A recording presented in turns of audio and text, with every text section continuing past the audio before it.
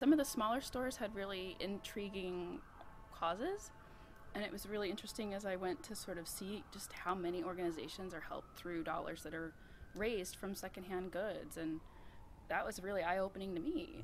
I've been a lifelong thrifter and I've always thought, oh, you know, thrifting helps people, but it doesn't only help people, it helps, you know, no kill shelters for dogs and cats. It uh, helps hospitals, it, you know, Native American reservations. Like there's just all these other entities that I never even thought about. I couldn't have done this without A, goodwill, B, social media, C, like everyone spreading the word. You know, it was just like a crazy little idea. And when I got behind the seat of the RV the first couple days, I thought, man, you know, be careful what you wish for. Now I really have to do this. It really opened my eyes to a lot of secondhand stuff. Really got me out of my comfort zone too. And um, I think maybe that's what people kind of liked about it is because it's sort of a dream project, but it's sort of intimidating to, to put yourself out like that.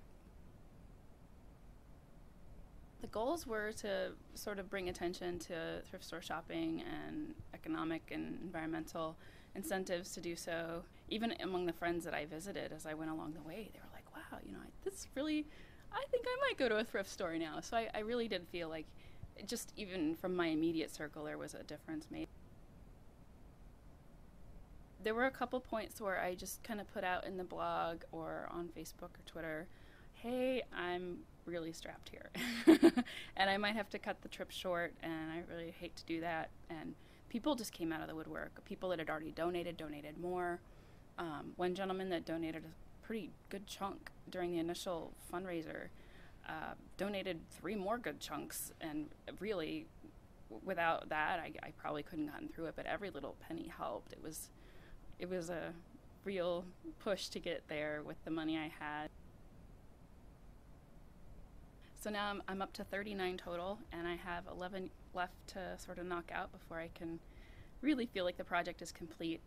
I'm thinking about maybe putting together like a little book of existing work to just to promote the project a little bit more and maybe help fundraise to finish it. Also hoping to put out a press release to sort of get some media attention on the existing body of work as well in hopes that I could get donations through that visibility to finish it.